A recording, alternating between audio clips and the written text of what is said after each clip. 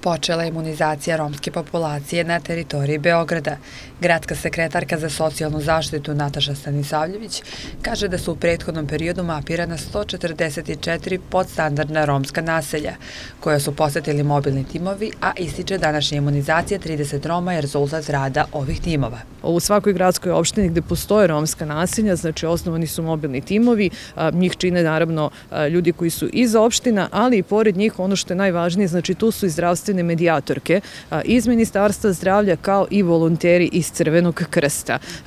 Način rada je takav, znači da se ulazi u svako romsko nasilje i da se pomaže pripadnicima romske nacionalne manjine pre svega oko informisanosti e, i načina na koji se zaštititi od koronavirusa, a samim i tim znači prijava i podrška za samu vakcinaciju, znači jer važno je da se i njima pomogne, jer naravno nisu svima dostupni možda elektronski uređaji,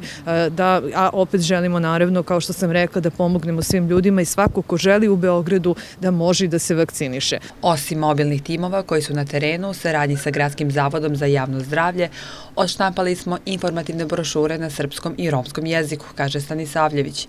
i dodaje da se brošure sa brojevima telefona bitnim za imunizaciju ostavljaju u romskim naseljima. Predsednik opštine Palilula Aleksandar Jovanović ističe da vakcina ima dovoljno za sve. Opština Palilula ima izvarednu, izvarednu komunikaciju sa sekretarijatom za e, zaštitu, to je za ovo što nas sad dešava, znači za socijalna pitanja, gde ćemo mi danas ovde imati vakcinaciju Roma. Mi očekujemo negde između 30 i 40